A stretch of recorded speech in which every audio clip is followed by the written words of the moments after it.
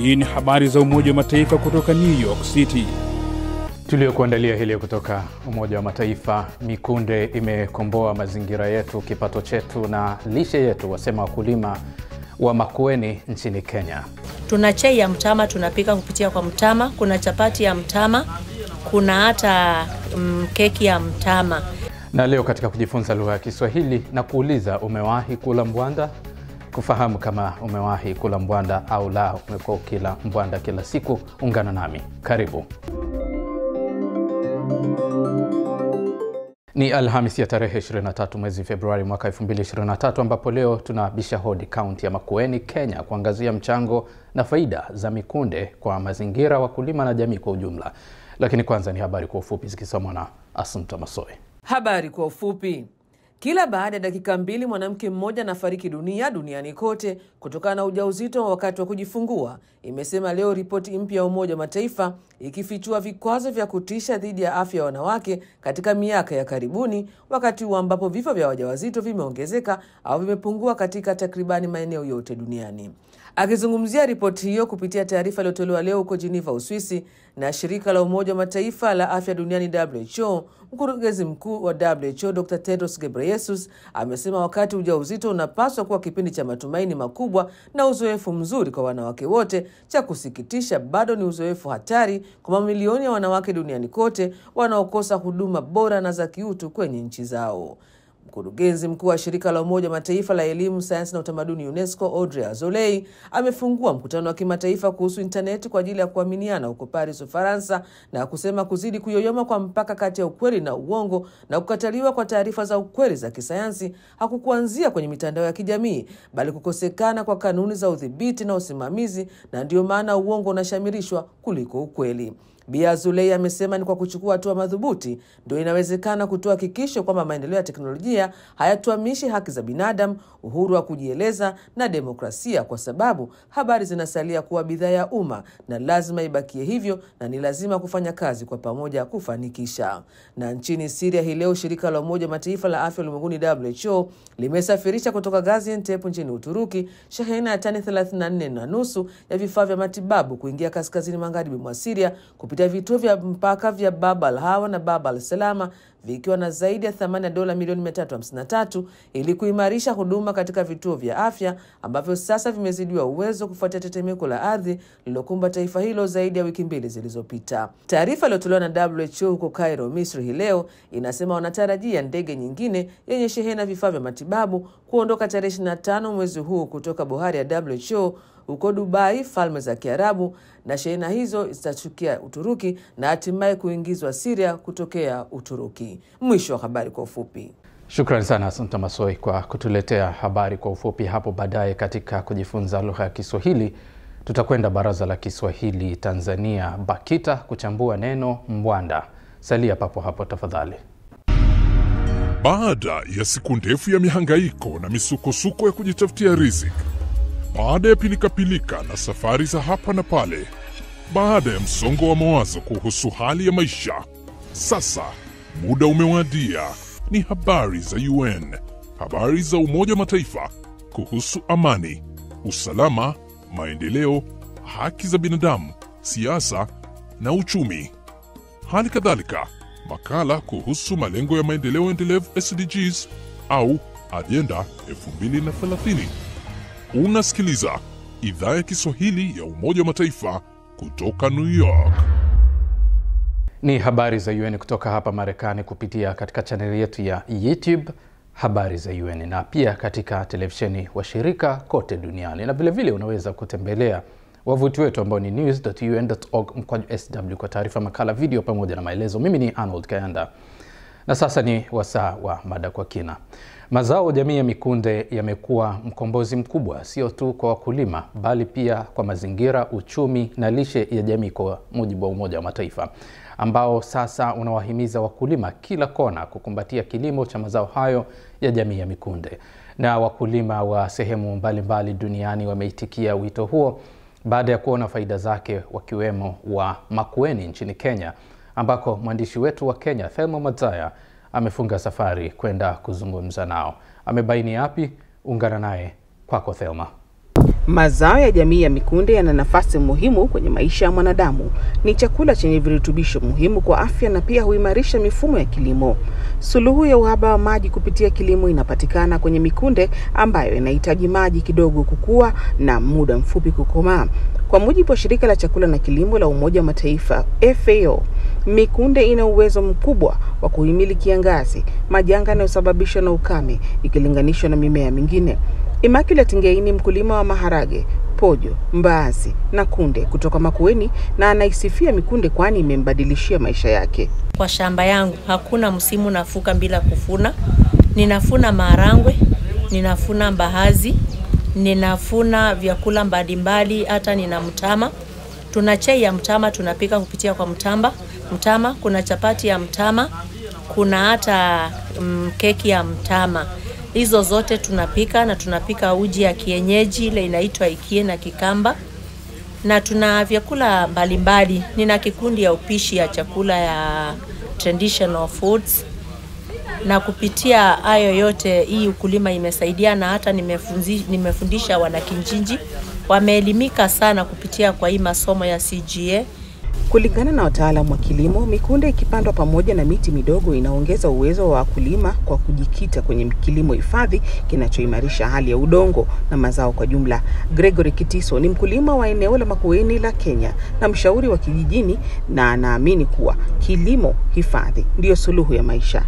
Kilimo hifadhi kimesaidia sana eh, kwa eh, kuhifadhi mchanga eh, na mazingira yetu uh, tuseme tumehifadhi ile mimea, hatukati ile mimea sana, hiyo ile ile miti ambayo inatusaidia.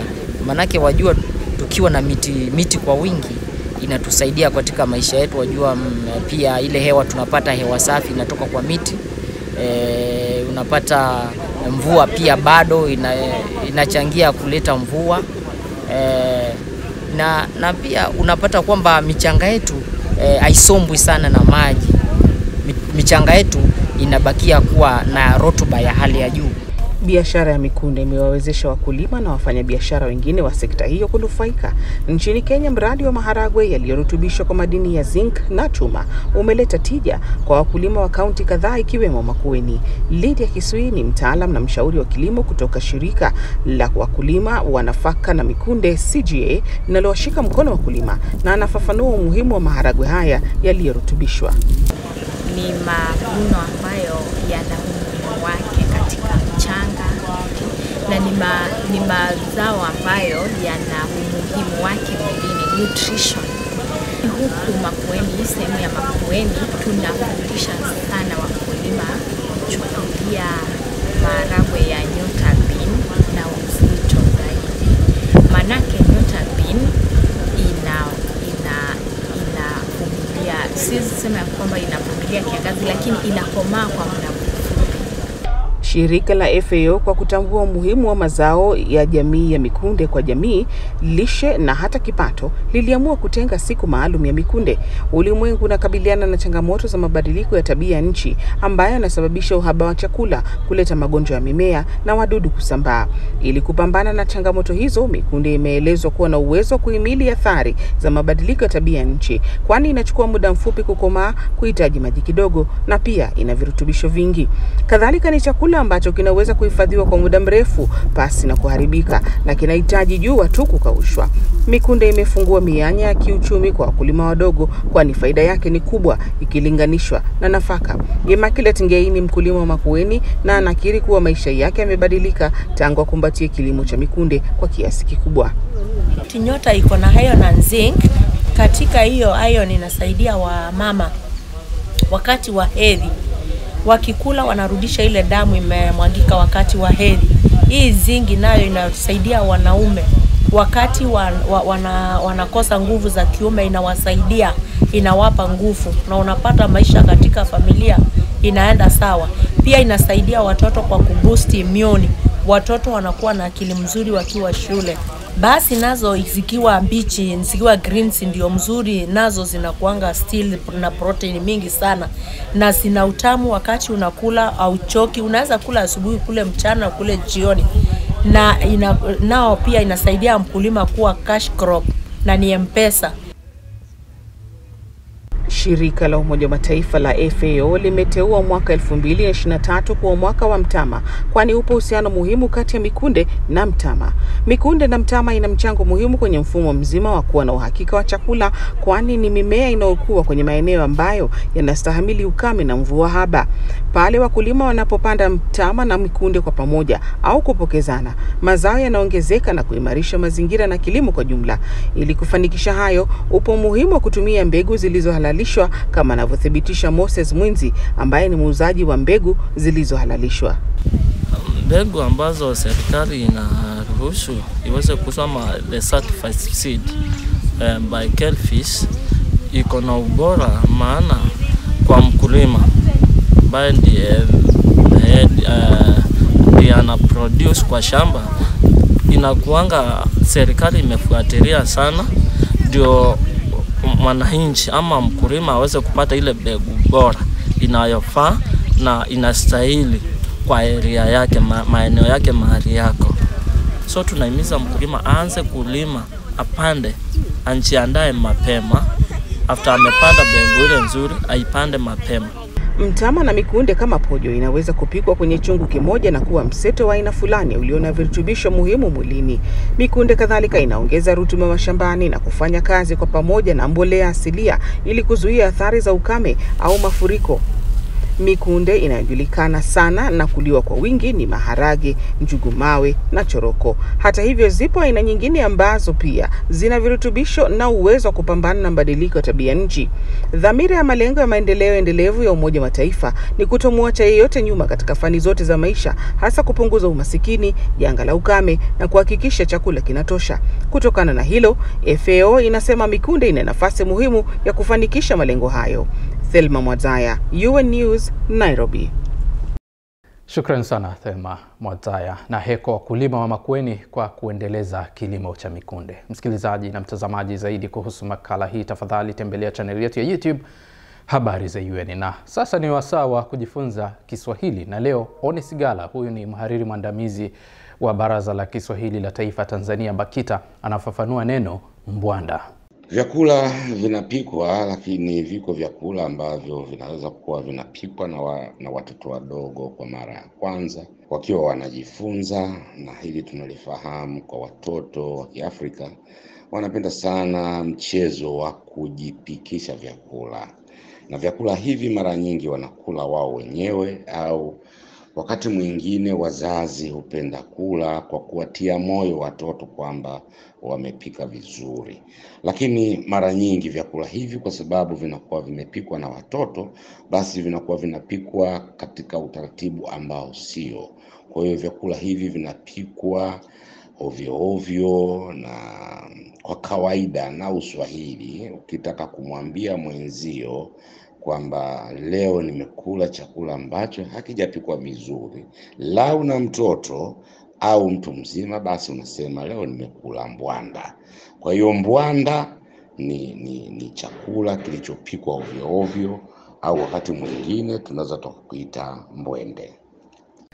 Shukran sana Onis Gala kwa uchambuzi huo, na kufikia hapo basi nami sina la ziada. Tukutane tena Jumanne ya wiki ijayo, lakini kwa sasa unaweza kutembelea wavuti wetu ambao ni news.un.org mkwaju sw kupata taarifa nyingine mbalimbali mbali, na pia tafadhali subscribe kwenye chaneli yetu ya YouTube Habari za UN na katika ukurasa wetu wa Twitter tafuta at Habari za UN. Kwa niaba ya wote walioshiriki, mimi ni Arnold Kayanda na kutakia amani na kwa heri kutoka New York.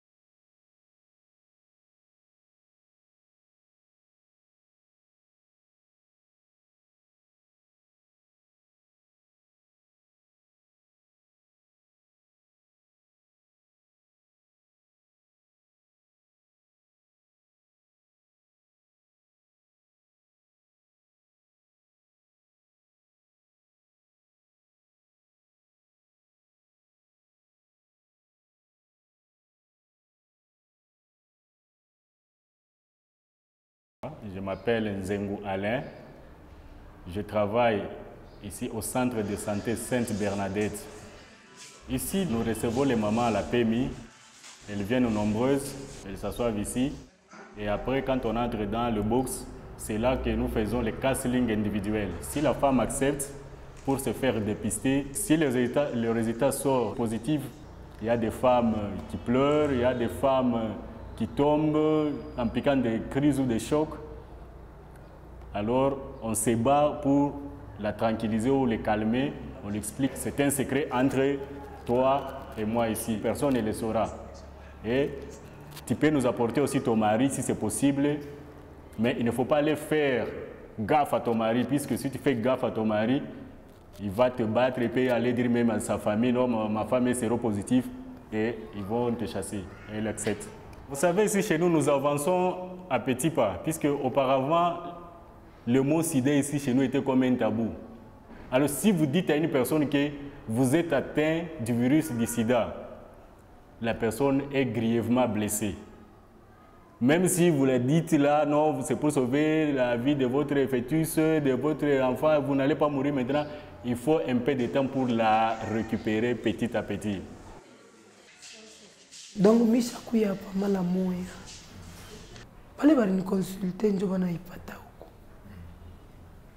Njo bananionyesha bananipatia mpaka madawa ya mishikuyu wake na pale alinionyesha ilifaka mbaya sana. Milikalaka shuku yake tena na pema maisha yao miliwazaka kutosha meye alinipaka ile roho nguvu. Anaonyesha sele utazala mtoto wa bienda atafa mashiku shukwe na assurance Avec euh, l'option B, nous conseillons, nous infirmiers, à la femme de prendre les produits, si les antirétroviraux, un comprimé par jour. Nous conseillons de prendre euh, ces molécules quand elle est enceinte, même quand elle va se retrouver dans la salle d'accouchement. Après, la femme va continuer à prendre ces molécules à vie.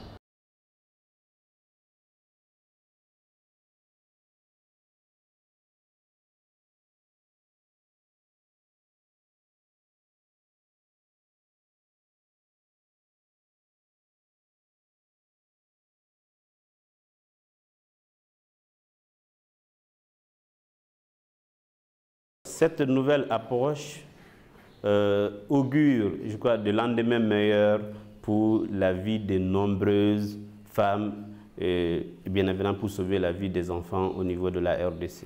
Parce qu'il n'y avait que 6% des femmes qui accédaient au, service PTME, mais au jour d'aujourd'hui avec l'option B+, si on arrive à le passer à l'échelle au niveau de toutes les zones de santé, ce sera beaucoup de vies sauvées des enfants, mais aussi ce sera beaucoup de vies sauvées des femmes qui accouchent euh, tous les jours.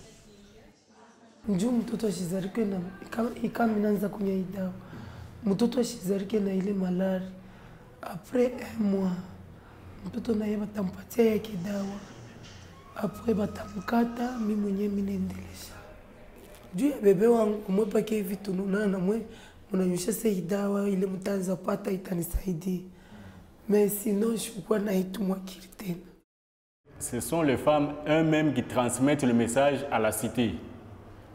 Une femme qu'on voyait maigre, amincie, sans force ou quoi que ce soit, mais on la voit avec des forces, elle marche sans problème.